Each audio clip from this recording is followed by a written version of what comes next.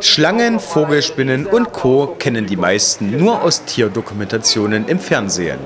Doch am ersten Märzwochenende gab es die Möglichkeit, einmal einen ganz anderen Zoobesuch zu erleben. Rund 200 exotische Tiere aus aller Herren Länder wurden in einer Wanderausstellung präsentiert und ermöglichten den Besuchern des Bernburger Kurhauses aufregende Einblicke in die faszinierende Artenvielfalt der Reptilien. Neben Leguanen, Spinnen und Schildkröten war unter anderem auch ein Alligator und eine sechs Meter lange Tigerpython zu bestaunen. Manche Tiere konnte man unter Aufsicht der Pfleger hautnah erleben und sogar berühren. Einer der Tierpfleger ist Felix Kendler. Er ist Mitglied des Familienbetriebes der mobilen Reptilienausstellung und kümmert sich Tag für Tag um die Bedürfnisse der Tiere. Dass dies kein leichtes Unterfangen ist, dürfte wohl jedem klar sein. Für uns erläuterte der langjährige Reptilienbesitzer, was man bei der Haltung der Tiere beachten muss ist sehr aufwendig. Also viele Leute unterschätzen das äh, immens.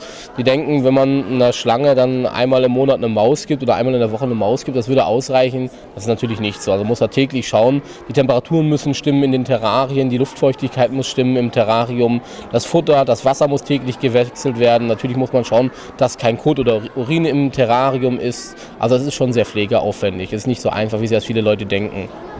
Um die Pflege und Zucht der einzelnen Reptilien zu optimieren, plant Felix Kendler gemeinsam mit seinem Cousin einen Reptilienzoo nahe Thurgau zu eröffnen.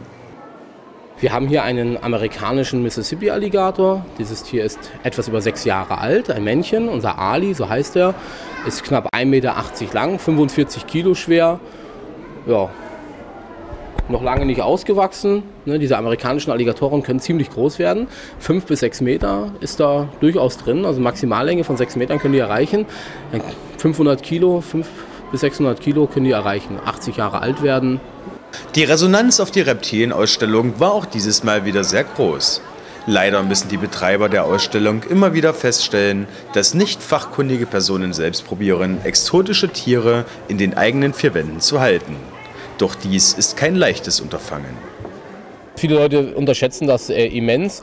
Die denken, wenn man einer Schlange dann einmal im Monat eine Maus gibt oder einmal in der Woche eine Maus gibt, das würde ausreichen. Das ist natürlich nicht so. Also muss da täglich schauen. Die Temperaturen müssen stimmen in den Terrarien, die Luftfeuchtigkeit muss stimmen im Terrarium, das Futter, das Wasser muss täglich gewechselt werden. Natürlich muss man schauen, dass kein Kot oder Urin im Terrarium ist. Also es ist schon sehr pflegeaufwendig. Es ist nicht so einfach, wie sich viele Leute denken. Nachdem nach der zweitägigen Ausstellung in Bernburg die Terrarien wieder abgebaut wurden, ging es für die rund 200 lebenden Reptilien zurück zum privaten Reptilienzoo nach Döbrichau. Ab dem 5. Mai lohnt sich ein Besuch auch in dem kleinen Ort nahe Thurgau. Denn dann wird dort auf einer Fläche von mehr als 8000 Quadratmetern Europas größte Reptiliensammlung zu sehen sein.